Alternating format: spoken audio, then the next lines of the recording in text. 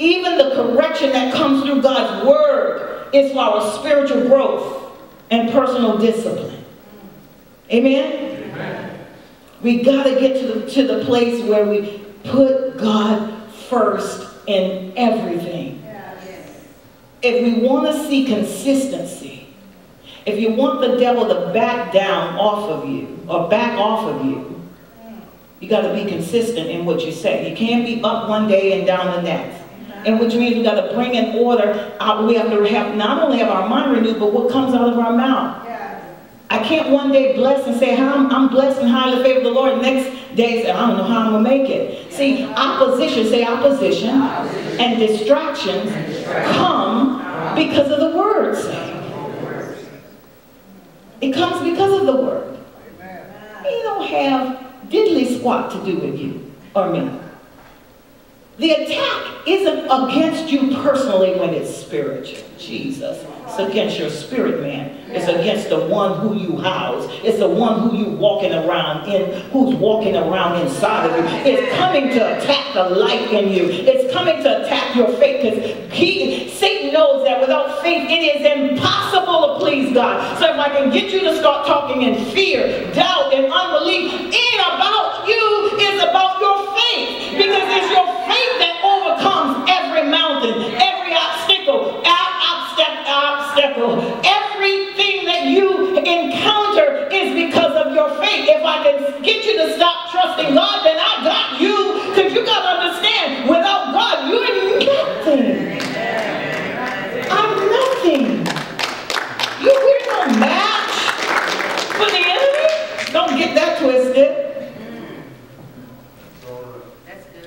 no other way around God's blessing except through obedience.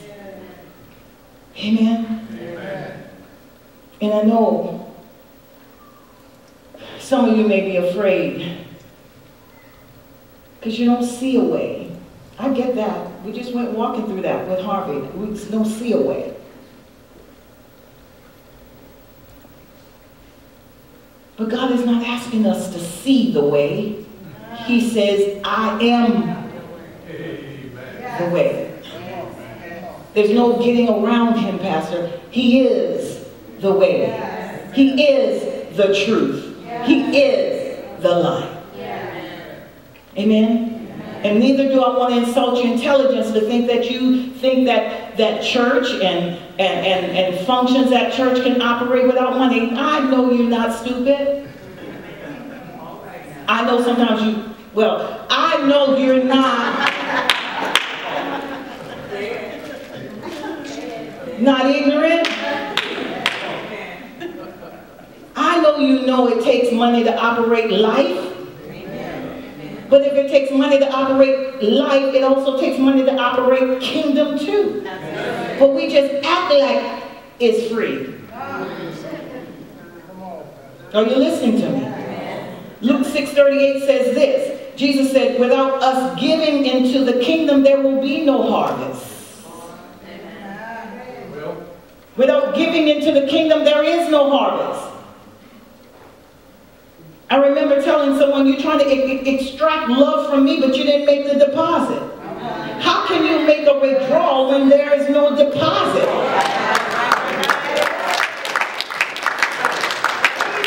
If I have not invested love into you, but yet I'm a demand you love me, the gall, the audacity, Give, and you shall get. But guess what? The getting comes after the giving. Your seed is collateral. It's a down payment for you, for, for, for you and I to have a right to put a demand on the return. Jesus, that, that came from God. That ain't came from me. You know, better grab that one. It ain't come from me. And it shall be given unto you. You got to believe that. And, and oh, I know I have different levels, mature levels in here spiritually. And listen, don't go around thinking that everybody is, is going to give to you. Your eyes need to be on God. Let him speak to whom he wants to speak to to bless you. Because sometimes we, we manipulate or we try to manipulate. I'm going to give and then I, I know you got money. So I'm going to start being real kind to you. How you doing today, Pastor? You doing all right? God bless you, man of God. yep. Just plain witchcraft. God speak to the man of God. Right. Speak to the man of God. Speak to the woman of God. Let them know I have a need. Want to say, if you have a need, where's your seed?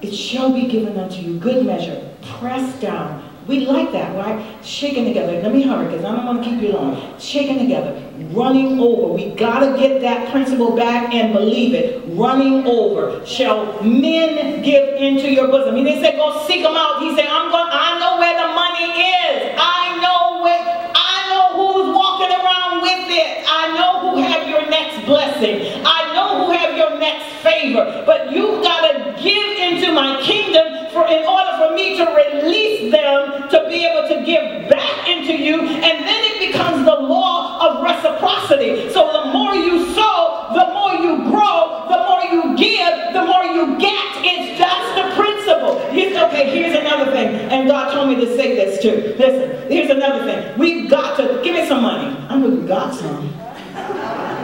Hallelujah. Just give me a little bit. I'll give it back to you. She better receive it. Give me a little bit. All right. So, the more you hold on to it and you keep it, it cannot multiply. And so the devil said, I don't have a lot. This is all I have. Yeah. But you don't realize if that's all you have and you hold on to it, that's all you'll ever have. Because every seed produces, mama like that, mama laughed on that one. Every seed produces after its own kind. We're the only folk that think that, that, that we can not give and get money.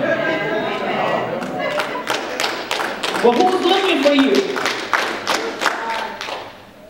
Your seed is in the ground, Gigi. It's your seed that goes looking for the multiplication. Let it go Watch it. Sow it. Let it fall wherever it may. Because you don't know where your blessing is coming from. When we lock into our job, when we lock into people, when we lock into mama and daddy, and I'm going to ask my uncle, we start locking into that beggar, beggarly mentality of begging to get our needs met, that's when we have stopped trusting God. It's currency. It's, say it, it's made to flow. You hold it, there's no flowing. You release it, you're freed up to flow. God understands that. Give, hold this, give, and it shall be given. Give, and it shall be given to you.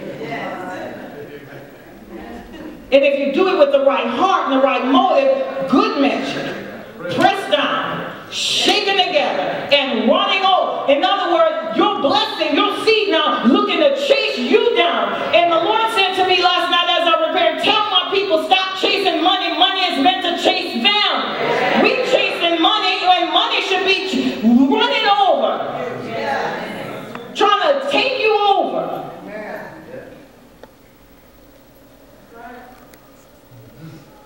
Oh, you're listening. We gotta, we gotta change our relationship with money. Uh, Uh, with the same measure, say same measure, same measure, that you mete withal, it shall be measured to you again. So you give a little, you get a little. Yeah. You give nothing, you get nothing. Yeah. You give a lot, you get a lot. Yeah. You gotta change your relationship with, with that. You know, you got to change your relationship with how you treat it, how, how you respect it. I'm sorry. Respect and honor it. Go with me to 2 Peter 1 3. Apostle Paul, I mean, Apostle Peter declares, according as his divine power hath, H-A-T-H, or if you want to do in English, H-A-D, had given unto us. We already got it. Yes. Had given unto us all things, say all things. all things. When you got saved, he gave you all things that pertain to life and godliness through the knowledge of him that called us to glory and called us to virtue. That's 2 Peter 1 3. We must know that it's God's will for us to prosper and to trust Him to bring that prosperity to pass. Amen. Yes. We need a healthy relationship with money Amen. so it doesn't become the love of our life. Folks say it's the love of, the love of money, it's the root of all you. No, get your Bible and learn something. Amen. Amen. The love of money corrupts. Turn to 1 Timothy chapter 6. You're going to have to put that one on the screen for a second. 1 Timothy chapter 6, starting at verse 6. Hallelujah. I don't know how far we're going to get, but we got time. How many want to grow and learn? It's going to be teaching in here. Because I don't want us to be ignorant. Amen. And I ain't trying to steal from you. I truly am not. 1 Timothy chapter 6, verse, starting at verse 6. We're going to read 6 through 12 and then 17 through 19. Listen to what, what Paul told Timothy when uh, concerning money. It's the love of money that corrupts people. It's not money. Money ain't did you nothing.